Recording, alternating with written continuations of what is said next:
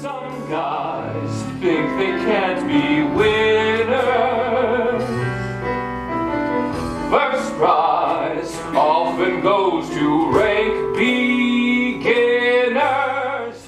Of the former President of the United States, Abraham Lincoln, who is here in charge with the following hot crimes and misdemeanors. Charlie Manson, the mass murderer. Is he a friend of yours?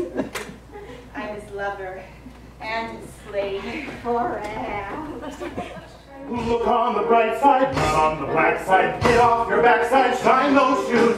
This is your golden opportunity. You are the lightning and